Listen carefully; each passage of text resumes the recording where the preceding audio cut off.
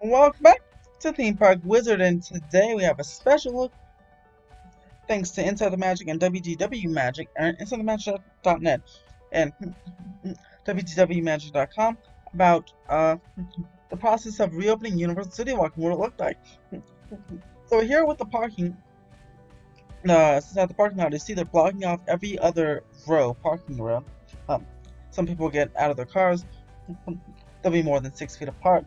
As you head onto the elevator, if you do decide to take the elevator, you're only allowed one party per elevator, which can have some, some very long lines, so I suggest simply taking the stairs.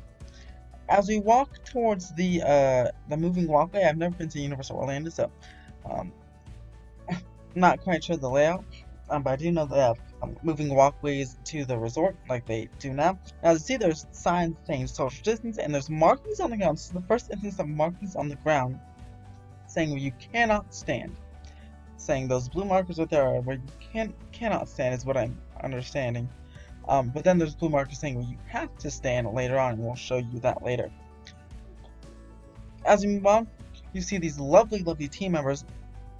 Shout out to the custodial team members, especially for um, cleaning, wiping down the handrails. This is actually, uh, there's a video of this um, on WDWMagic.com, and also you've probably seen it on Twitter. But they are, um, the escalators are moving. They're constantly wiping down the handrails every like second. It's awesome, and um, expect team members doing, doing that at Disney Springs and Universal Orlando, and inside and outside the parks of those as well. Now, this is the various part. This is where we get to the temperature screening. And this is where, again, um, where you, looks like this is where you have to stand on the blue things. Um, looks like, or at least people are seeming to stand on the blue things instead of away from as a, because they're kind of queuing at this point. And you'll have a picture right now where we're looking like a closer, this is like the front of the line, and people are putting maybe like 50, 20 to 50 feet apart from um, where you get your temperature scan, and it's definitely it's not like uh, Shanghai Disney. We just walk on through. Um, maybe because this is just city walk, it's not a high amount of people at a whole bunch of times usually. So they they probably use the one where it scans right on your head. It's digitally just put on your head, and that's what the people are waiting for. When you head on into city walks, um, notice lots of changes as well. Um, for example, just about every store have hand sanitizer and face coverings available. One for uh, face coverings are one for six dollars and three for fifteen, which is actually not bad. I bought my um face coverings before I, I customized them. I bought them mine for six dollars per um mask. So that's not bad. Three for fifteen, you're saving a dollar. Hand sanitizer three dollars. I feel like that's not bad at all. And as you see uh, farther up, you here's a saying uh, thing on the ground saying where not to stand. Um, while because presumably someone's gonna be buying stuff right there, and then he'll be waiting behind the blue circle.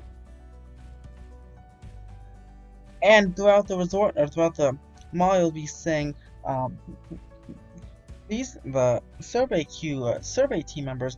If you want to take a survey, you'll be doing a QR code instead of the uh, traditional the other way. They hand to the iPad, no, you'll be scanning a QR code, doing it on your own.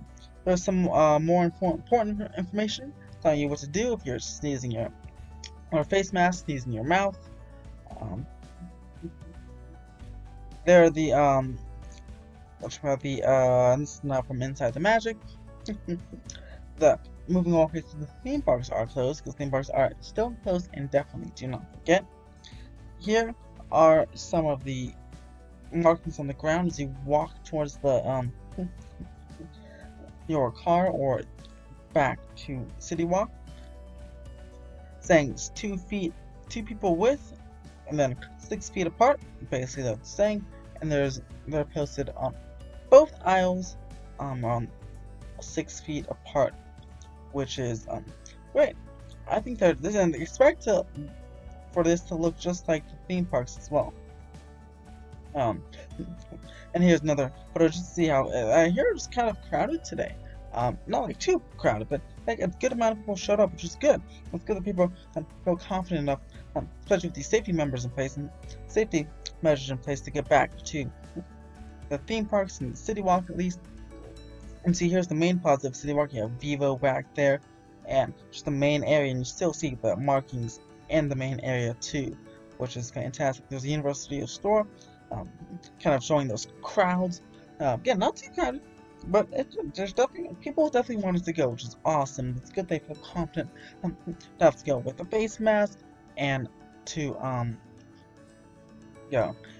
And then here's a parting, a the parting shot of the um, Universal Orlando Resort. Definitely want to, definitely like to go there sometime. I've been to Disney World, but never been to Universal Orlando. But that's exactly that looks that looks like this is what it's going to be like for the time being for the near future until the vaccine happens.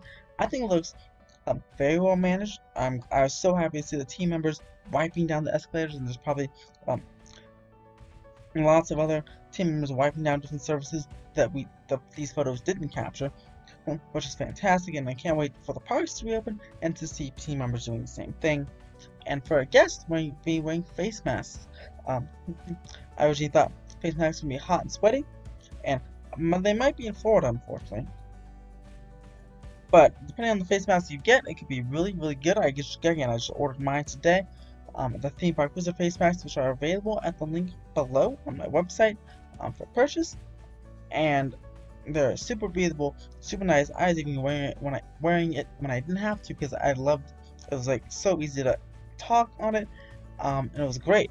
Um, and I'll show you a video of that right right after this um, little outro here. And you can go ahead and get the face mask down below in the link. And here's a video of that. Look at that very nice face mask right there. Alright, well again, if you want the face mask, definitely go order them at the link below. Subscribe for more updates. I'll be doing a live stream tomorrow, Saturday. At 4 p.m. we do streams on Wednesday and Saturday on uh, Disney uh, theme park news, and then ending with Disney trivia. The first one was pretty cool, and we'll doing be doing the next one on Saturday. So stay tuned for that. Subscribe for more theme park updates, and as always, have a fantastic day.